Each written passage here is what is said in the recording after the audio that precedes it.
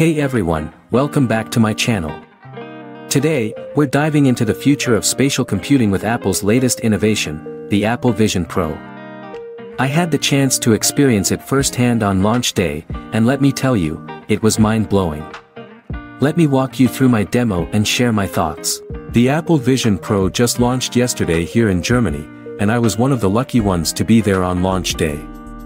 The Apple Store opened two hours earlier for the occasion, giving me the unique chance to get a demo on the same day. When I put on the headset, everything was black. Then, an Apple logo appeared in the middle, and it felt like looking through binoculars. Slowly, the world around me started to fade in, kind of like when you put on swimming goggles. The excitement was palpable as the store opened its doors early.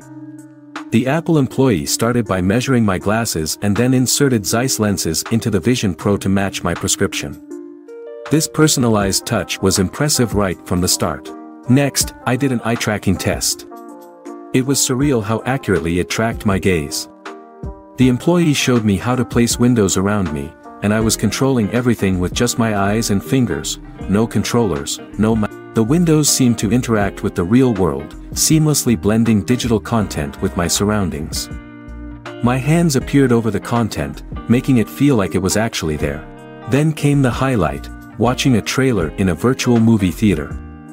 It was incredible, no need to go to the movies when you can have this experience at home.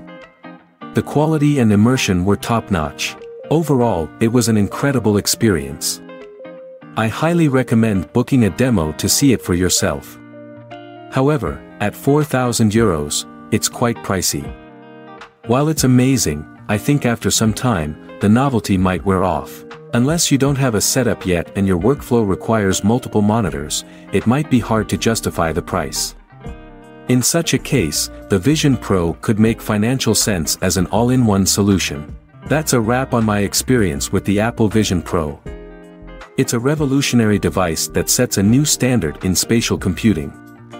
Don't forget to like, subscribe, and hit the bell icon for more tech reviews and updates.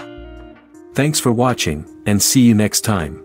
Stay tuned for more exciting content and in-depth reviews. Subscribe now.